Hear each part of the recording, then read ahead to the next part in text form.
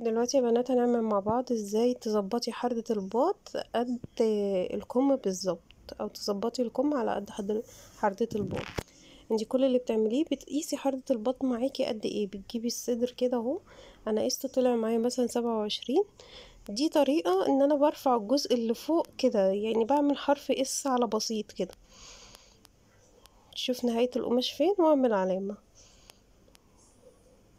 هوريكم بقى الطريقة التانية. يعني أنا طلع معايا سبعة وعشرين باخد المزورة كده بميل وأشوف السبعة وعشرين دي رايحة لحد فين؟ رايحة لحد هنا فاعلم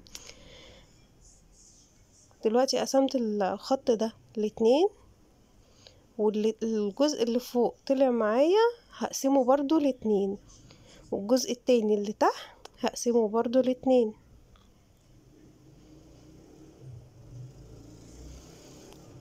النقطة اللي فوق دي هطلع سنتي وكده عملت خط. النقطة اللي فوق هطلع سنتي والنقطة اللي تحت هنزل سنتي وهعمل بقى هوصل النقط ببعضها وامر بالنقطة اللي في النص كده. نفس الرسمة طلعت اللي أنا كنت رسمها لما رفعت الكم لفوق. لما رفعت الحردة لفوق. دلوقتي أنا باخد بقى طول الكم بتاعي قد إيه؟ ستين مثلا علمت. واخد الاسورة بتاعتي قد إيه؟ أربعتاشر مثلا علمت عليها.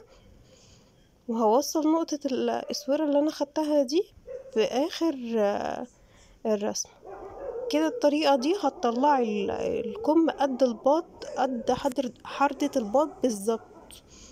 يعني مش هتلاقي ولا ملي فرق. ياريت تكون الطريقة بسيطة و...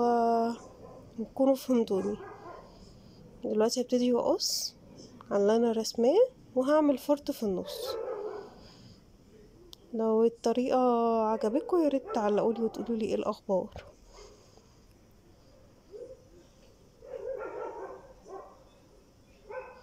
وأنا كده تانية القماش على أربعة.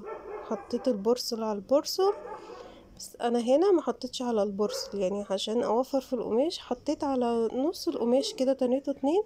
وبعدين رحت واخدة طبقة تانية وتنيته على أربعة بحيث إن أنا الجزء اللي من جوه ده هعمل بيه بقية حاجات تانية.